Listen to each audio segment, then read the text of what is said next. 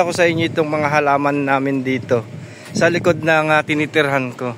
Natuwa lang ako kasi may mga bunga na siya. Hindi ko alam kung ano itong halaman na ito. Sinerch ko siya. Ang pangalan nito ay Procera calotropis.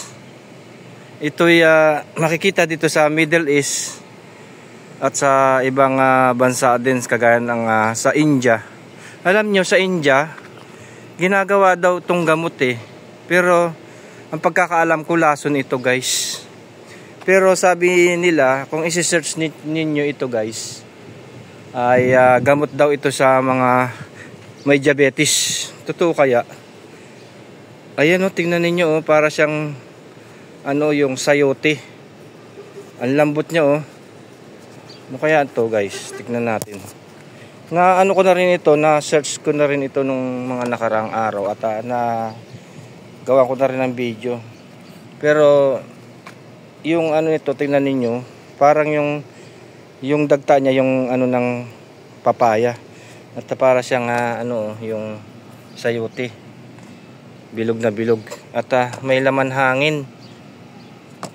Ayan oh. Pum nakakatuwa ang lambot oh. lambot. Ay, pumuputok pala siya. May hangin parang plastic balloon. Ayan oh, daming bunga guys oh. Ito, nas, na-search ko guys.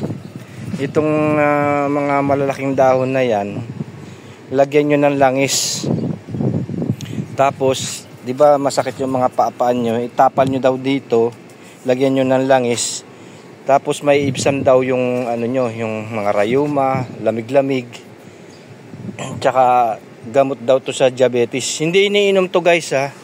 Kumbaga uh, ano lang uh, yung nga sinabi ko lagyan ng ano ng oil at uh, ilagay dito medyasan bababa daw yung ano yung inyong uh, sugar level ito yung uh, mga tanim dito sa ano sa lugar namin at uh, kapag na, na, na siya ayun na, na tumanda na yun may mga bulak-bulak pala siya oh.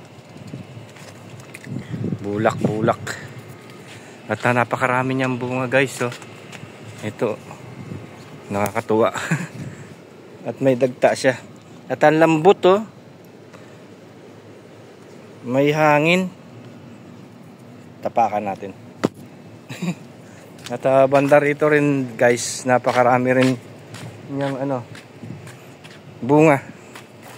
Ayan yung uh, Proceras calotropis. Ayan.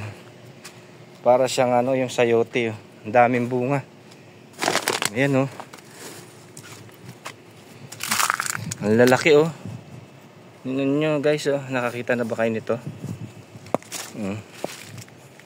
ang lambot niya. Para siyang yung ano plastic balloon. Yung uh, hangin. May hangin siya nakakatuwa. May hangin na yun no? para siyang sayote. Ang lambot may hangin siya at uh, madagta. At uh, ang bulaklak niya ganito oh. purple. Gamot daw to sa diabetes eh